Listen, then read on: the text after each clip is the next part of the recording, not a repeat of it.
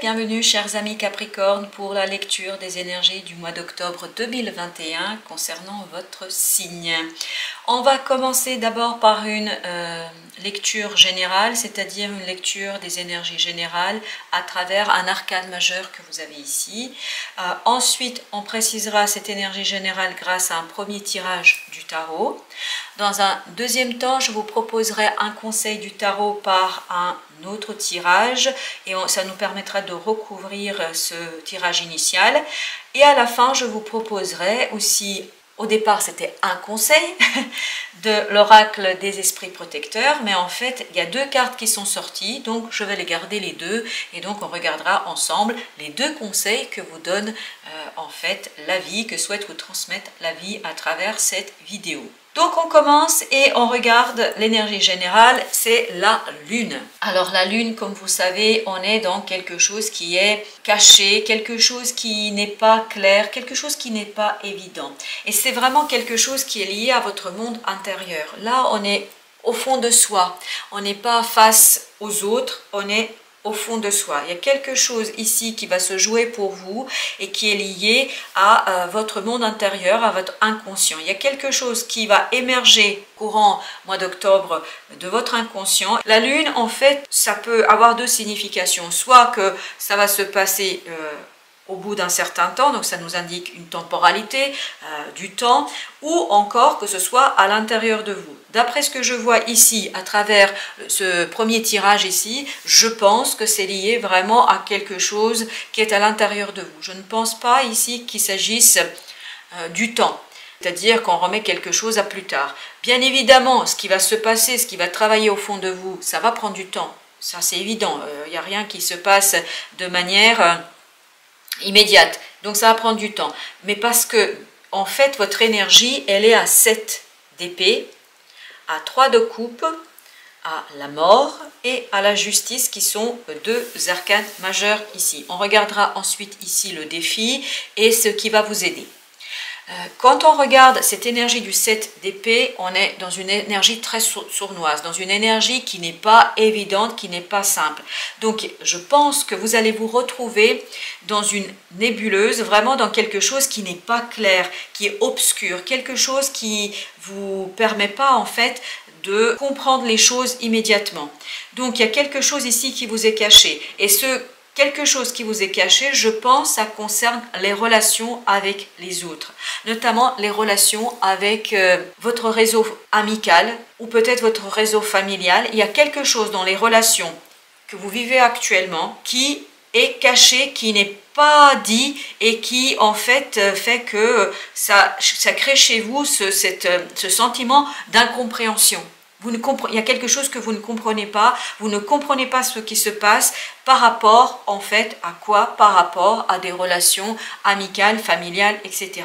Ce, côté euh, caché, ce côté sournois, ce côté, euh, voilà, pas très clair, euh, cette obscurité, j'ai l'impression qu'elle va, en fait, grâce à l'énergie de la lune, ça va vous permettre de la transformer, de la transmuter. En fait, cette incompréhension va mourir c'est-à-dire que vous allez retrouver j'espère, en tout cas on le verra plus loin, la clarté d'esprit, mais le mois d'octobre va vous demander d'aller laisser mourir cette obscurité, peut-être qu'il y aura des éclaircissements, et ici ce qui me frappe vraiment dans les deux arcanes majeurs, vous avez la mort ici, c'est le noir, vous voyez le personnage est habillé en noir, et de l'autre côté vous avez la justice, elle est habillée en blanc.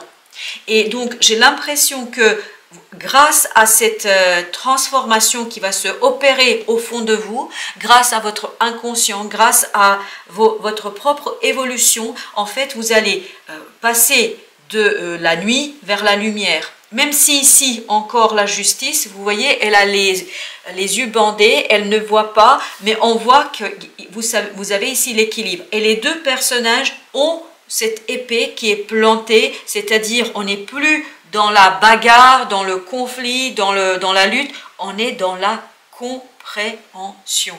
Compréhension parce que en fait, en allant au fond de vous, il y a des choses qui vont, qui vont s'éclairer. Vous allez comprendre certaines choses par rapport à ces relations que vous vivez.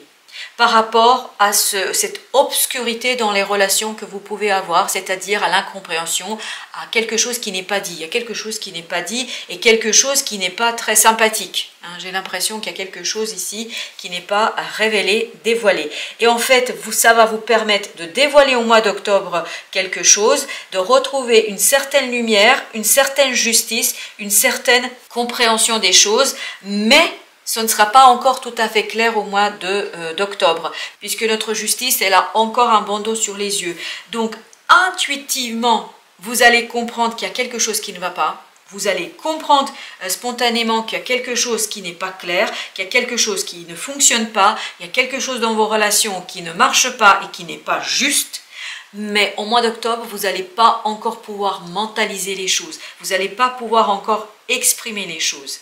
Le défi, en fait, sera vraiment d'aller chercher, puisqu'on a le chariot, on a le, chevalier de coupe ici, d'aller chercher cette information, d'aller déclarer ce besoin de comprendre, de connaître à quelqu'un ou à ces personnes qui vous entourent et que vous sentez pas tout à fait clair, pas tout à fait net face à vous et avec vous. Donc vous allez pouvoir, en fait le défi sera d'aller vers l'autre, d'aller vers les autres pour aller chercher l'information, pour éclairer en fait ce qui se passe, pour lever cette, euh, cette obscurité, pour retrouver la lumière, pour éclairer ce qui ne va pas.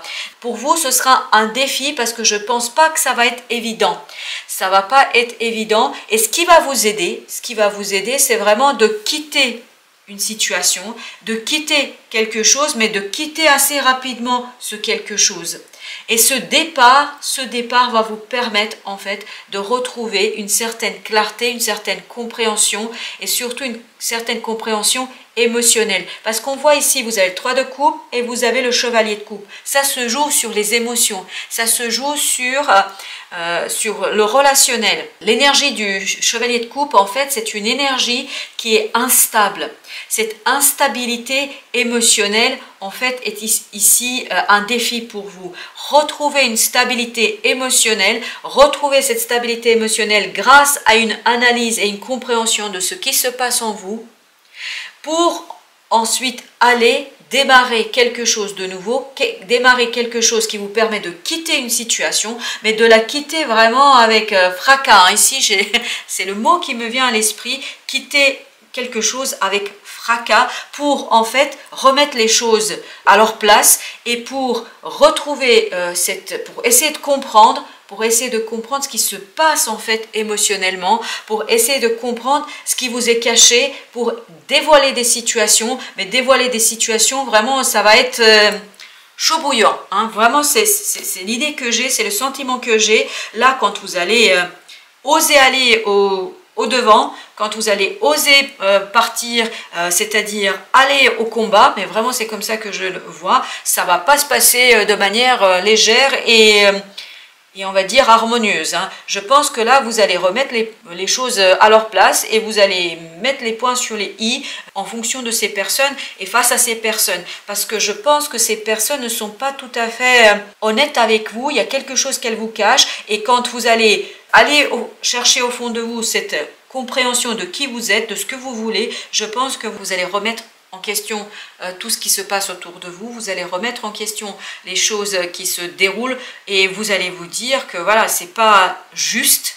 Et ça, ça me fait, je reviens vers cette justice. Ce n'est pas juste ce qui se passe, cette injustice. Vous allez essayer de la transformer, mais votre défi sera vraiment de mettre en mouvement euh, cette compréhension, mettre en mouvement votre euh, compréhension émotionnelle et essayer de dévoiler, de transformer, euh, de transformer cette incompréhension en quelque chose de plus clair et plus lumineux, c'est-à-dire vous allez rechercher l'équilibre, bien évidemment sensible, parce que là, ça se joue au niveau émotionnel, intuitif, instinctif. On n'a pas trop d'épée ici, même si on est d'accord euh, que vous avez ici à chaque fois l'épée, mais la transformation, la compréhension viendra de votre fort intérieur, de votre inconscient. Il y a des choses qui vous seront dévoilées au fond de vous, vous allez avoir des compréhensions d'abord en vous que vous allez pouvoir ensuite dévoiler à l'extérieur et que vous allez en fait pouvoir communiquer aux autres et peut-être même remettre en question certaines relations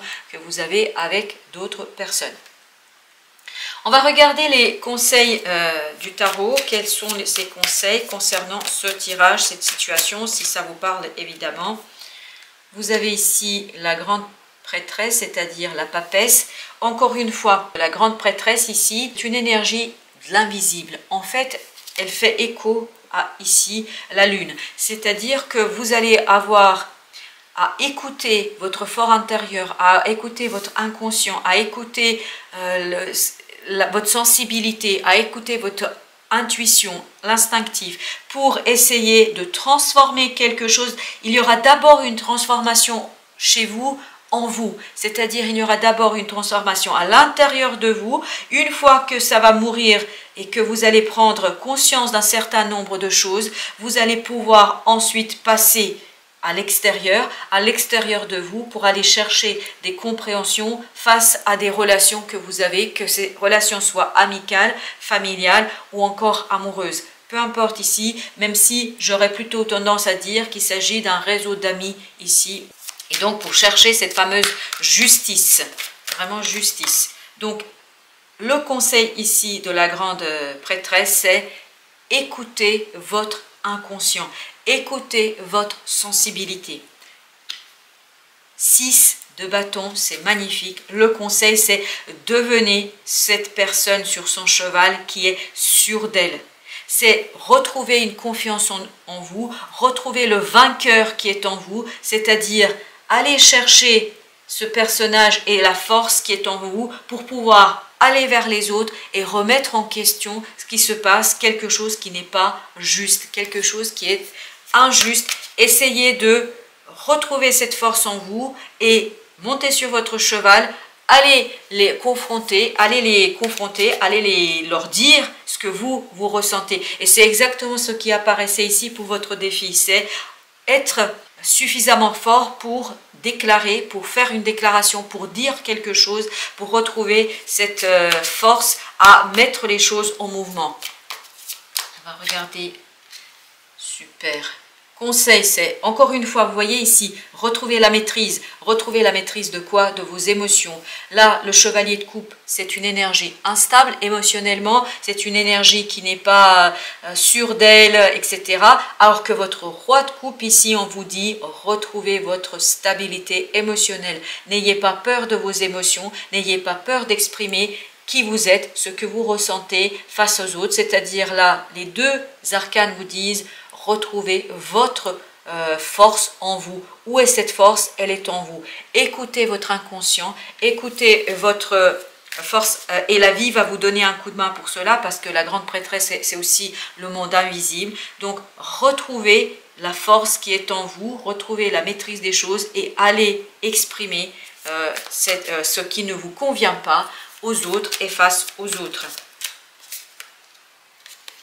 Et ici, on a euh, ce valet d'épée. Le valet d'épée qui, nous dit ici, en fait, qu'est-ce qui va vous aider? C'est la communication. Peut-être même une communication, une communication sur les réseaux sociaux, euh, une communication rapide. Hein. vraiment, euh, on a ici, cette, même si c'est une communication qui sera hésitante au départ, mais vous voyez, voilà, quitter quitter euh, ce manque de parole, ce manque de verbe, quitter cette situation-là pour aller vers plus d'expression, d'expression de vous, de qui vous êtes. Et bien évidemment, je pense que là, méfiez-vous euh, de, votre fougue, hein, parce que je pense qu'avec le chevalier de, bâton que vous, vous avez, que vous aviez dans votre tirage ici, vous risquez vraiment d'être dans une dans l'explosion, parce que c'est vraiment les, voilà, c'est comme ça que je vois les choses, dans l'explosion, donc pour éviter d'exploser émotionnellement euh, face aux autres, essayez de trouver les justes paroles des paroles qui vous permettront de communiquer vos besoins, qui vous permettront de communiquer vos envies face aux autres et surtout euh, votre sentiment d'injustice que vous pouvez avoir face à ces personnes et à ces personnages. Et un dernier élément au dos de deck sur les conseils, ça vous permettra d'aller vers le 10 de coupe. 10 de coupe, c'est un bonheur, bonheur émotionnel, bonheur émotionnel, euh, un bonheur où vous allez retrouver toute votre force, toute votre place et surtout vous allez remettre les autres à leur place. vraiment remettre les autres à leur place pour que vous, vous puissiez aussi euh, être reconnu pour qui vous êtes et ce qui compte pour vous aussi, parce qu'il n'est pas question de se laisser faire, j'allais dire, comme ça. Et ça, c'était un commentaire personnel, donc à vous de prendre ou de laisser comme vous le souhaitez. Pour les conseils, alors là, on avait deux euh, cartes qui sont sorties. Habituellement, je ne sors qu'un seul arcane, mais on va garder les deux. Donc, il y a le cerf, Ayez confiance et prospérez. Eh bien écoutez, ici, ce message, ayez confiance et prospérez. Prospérer, c'est le 10 de coupe qu'on avait ici. Et ayez confiance, c'est ça. Ayez confiance en votre fort intérieur, en votre inconscient, en votre ressenti, qui vous permettra de dévoiler quelque chose qui n'est pas net et clair ici, et qui vous permettra en fait de retrouver toute votre stabilité. Et on a aussi gardienne de la paix, libérez-vous du besoin d'avoir raison. Et c'est là, je pense que c'est là, on vous invite à être dans la modération. Essayez d'être dans une communication constructive, dans quelque chose qui va vous permettre de partager votre besoin sans aller chercher obligatoirement à avoir raison. Aussi peut-être à comprendre l'autre, à comprendre ce qui se passe, chercher la compréhension avant d'être dans, dans la précipitation du jugement. Et ici vraiment c'est ça, c'est le sentiment que j'avais tout à l'heure, cette idée de précipitation. Vous risquez de vous précipiter, vous risquez d'aller trop vite, d'aller trop vite et d'être donc dans la colère, dans des émotions qui ne sont pas constructives, dans, des, dans une communication qui sera pas constructive. Donc ici, si je peux vous donner un conseil à travers cette gardienne de la paix, gardienne de la paix, on est vraiment de communiquer de manière apaisée. Communiquer de manière apaisée, essayez, essayez de communiquer votre sentiment d'injustice, peut-être une colère que vous, avez au fond de vous, et saisissez-vous de ces deux euh, énergies ici, qui est le 6 de bâton et le roi de coupe, pour exprimer les choses calmement, de manière apaisée, pour favoriser la paix dans la communication et ne pas être dans cette... Euh, dans la colère, dans l'explosion, etc. Et c'est peut-être ça aussi qu'on vous invite de quitter, c'est-à-dire de quitter la, la colère qui bouillonne en vous et, la précipitation. Voilà, si je ne sais pas si ça vous parle ou en tout cas euh, si tel est le cas, essayez de modérer, modérer vos émotions pour parce que le roi de coupe ici, vous savez, lui, il n'est pas dans la colère, il exprime les choses calmement, mais de manière assurée et de manière euh, claire et nette. Voilà, chers amis Capricorne, j'espère que cette lecture vous donnera quelques pistes de réflexion sur les énergies du mois d'octobre et ce que je vous souhaite à la fin du mois de euh, octobre, c'est de retrouver ces magnifiques 10 coupes. En attendant, je vous dis merci de votre présence, merci de votre visite et à très bientôt pour d'autres lectures.